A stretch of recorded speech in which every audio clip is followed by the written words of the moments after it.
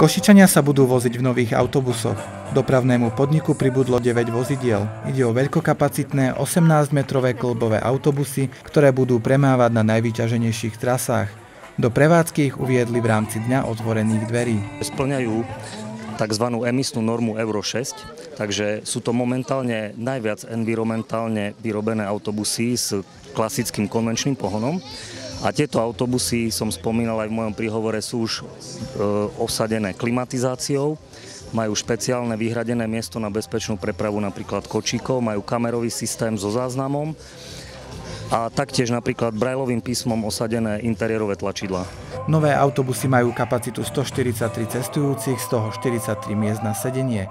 Cena jedného autobusu dosiahla 393 tisíc eur. Pre dopravný podnik nejde o prvé novinky. Tie novinky začali od roku 2012, kedy sme investovali do mestskej hromadnej dopravy viac ako 250 miliónov eur a pribudli nám do vozového parku okrem nových električiek aj takéto nové autobusy, aj nové elektrobusy.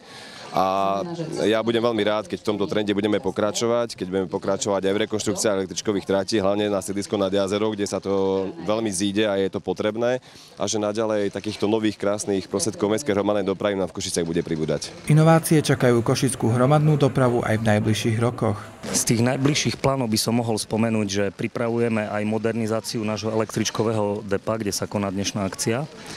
Plánujeme ďalej rekonštruovať aj električkové trate a neustále obnovovať. Je to neustály proces, ktorý, v ktorom musíme pokračovať a modernizovať náš vozový park. Košičania si mohli nové autobusy vyskúšať v rámci Dňa otvorených dverí, ktorý im umožnil nahliadnúť do zákulisia dopravného podniku. Nové autobusy dúfame, že dlho vydržia. Bez poruchy a veľa kilometrov. Krásne sú a dúfame, že budú k dispozícii skorej.